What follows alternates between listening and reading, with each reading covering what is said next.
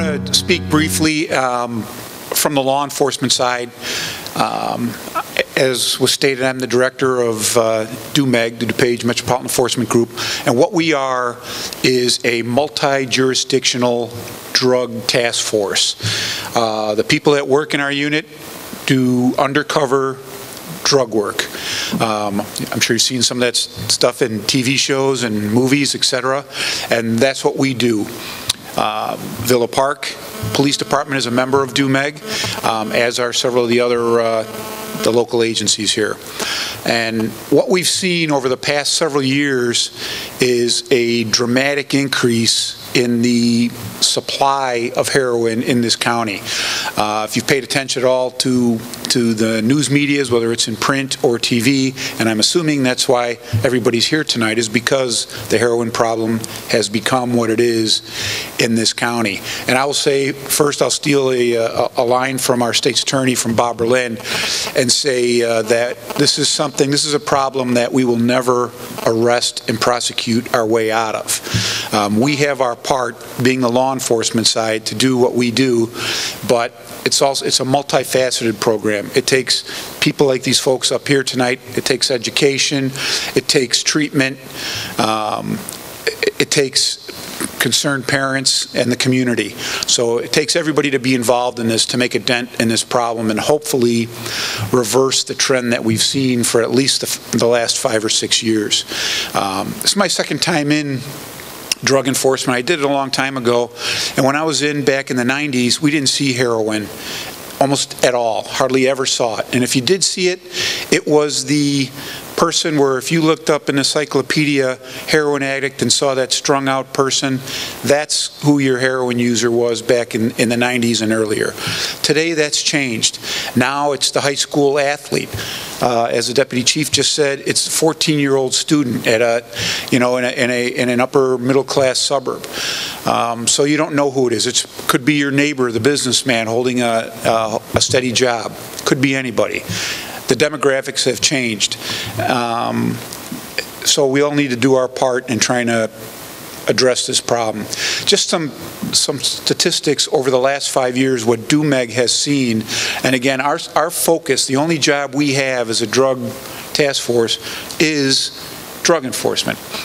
So if you look at drug enforcement like on a three-tier level, at the local level, for instance, the Villa Park Police Department, they deal mostly with possession cases. The police officers out on the road, they stop somebody who is in possession of a narcotic or illicit drug, they get arrested. What we do is we're the middle guys, the next tier up. We concentrate on dealers, particularly at the local level. We're looking for the suppliers to your kids, um, and not so much the individual who is, has possession of user amounts of individual illicit drugs. And then at the top level, you have the federal agencies, the DEA, the FBI, who concentrate on the organized criminal groups and the transportation groups bringing drugs in here from outside of our country. So just some numbers, what's happened over the last five-year period from 2009 to 2013. I pulled some stats out of our records. In 2009, 6% of all the drug uh, purchases that we did were heroin-related, just 6%, which isn't a very high, but that still was an increase over the previous several years when it was down in the 3 to 4% range. In 2013, last year, of all the drug purchases we did, which was over 280, 26% of those drug purchases were heroin. That's a huge increase, and I'm not a mathematician, I didn't take the time to figure out what the difference was, but it's large. So uh, that's, that's a trend that needs to be reversed for the safety of, you know, for our citizens here in this county. Another trend for seizures in that same five-year period, 2009 comparative with 2013. In 2009, total, we seized less than 500 grams of heroin throughout the whole year. In 2013, we seized over 2,500 grams of heroin. That's, that's about three pounds, nearly three pounds of, of heroin that we seized in 2013. That's a large amount. And a lot of that was attributed to a couple of cases, pretty large cases that we did, that we targeted groups, particularly gangs, dealing on the west side of Chicago. We did a lot of our work in 2013 outside of DuPage County. The reason we did that, uh, we're guided by the chiefs that, that oversee our, our drug task force, the chiefs of police, and the state's attorney's office, and we realized the problem is the supply is coming from the west side of, the, of Chicago. That's where the heroin is coming from. Obviously, in the bigger picture, it's not coming from there. It's coming from Mexico and South America for the most part. But our kids and our people here in this county are getting their heroin from the west side of Chicago.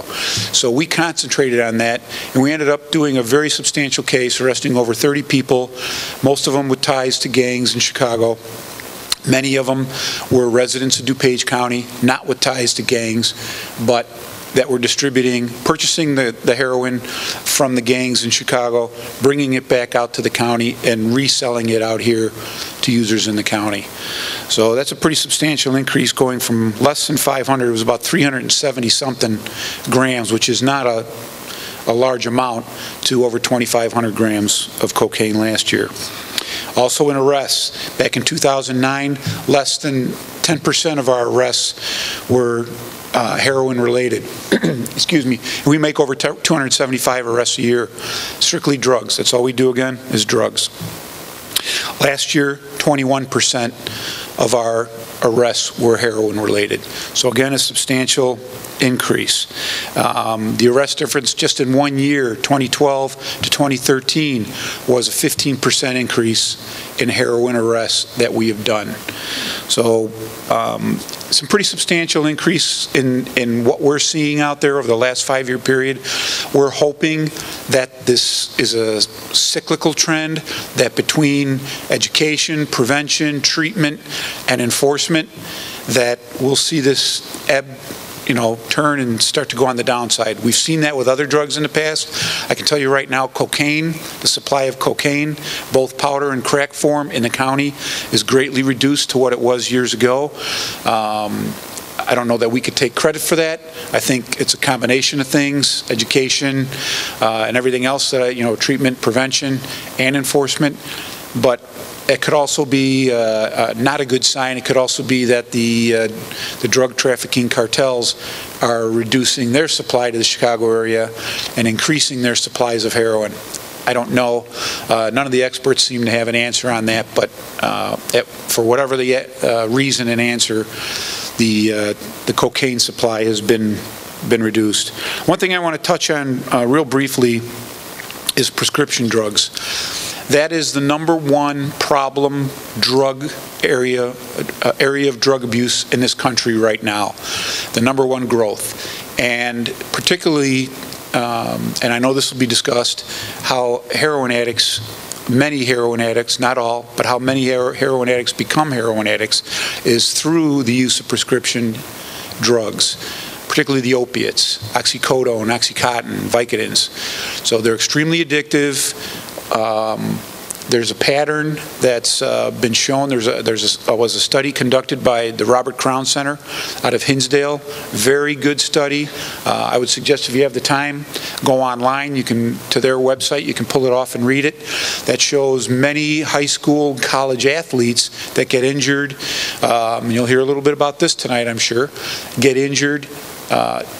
Start down a prescription uh, given to them by their physician. They get hooked on, uh, you know, addicted to those drugs. One thing leads to another. And uh, unfortunately, they end up on heroin, which is much more readily available and much cheaper than trying to buy prescription drugs uh, after your prescription is run out, trying to buy it on the street in a black market. So be concerned about that, about the rise of prescription drugs.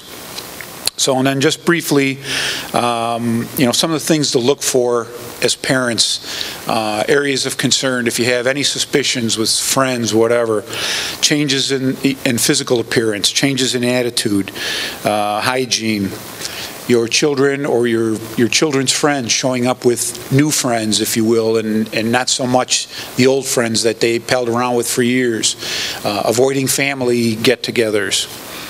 Um, additional mileage, increased mileage on your car, or tolls on the iPass that you're not familiar with. You wonder how, all of a sudden, how do we get this extra mileage on our car and the extra tolls on our iPass? Um, Lying becomes very common, um, and items of value missing in your home.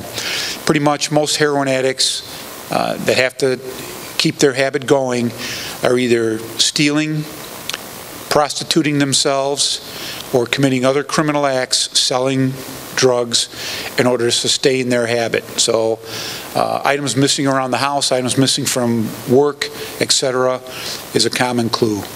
Um, Again, basically, I- you know, I I know I throw out a lot of little numbers to you, but it, we've seen a dramatic rise here in DuPage County. We're doing our part between doing educational programs such as this and arresting dealers. Um, But again, it's a big picture thing between uh, uh, several groups that everybody's got a stake in it, primarily parents, teachers, everybody else. So uh, it takes, you know, as has been said, it takes a, a community to make a difference, and, and hopefully we're making our little, our little dent. So, thank you very much.